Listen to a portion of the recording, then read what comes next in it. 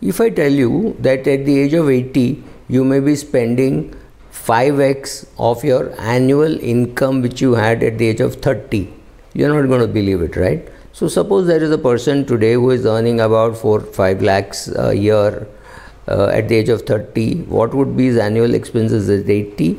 uh, what would be his monthly expenses at 80 it could be 20 25 lakhs. Difficult to believe right? Now go back in time. Go to 1968 a young fresh smart chartered accountant about 26 27 years of age was earning 9000 rupees a year 750 a month However, he's spending about 45,000 rupees per month now, and this does not include any luxury, it does not even include his vacations.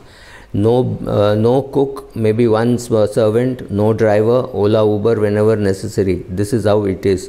That monster is called inflation. Tame it or you will be ruined